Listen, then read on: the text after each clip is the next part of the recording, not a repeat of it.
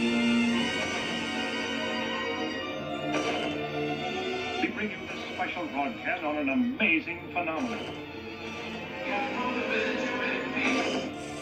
The arrival of a spaceship in Washington.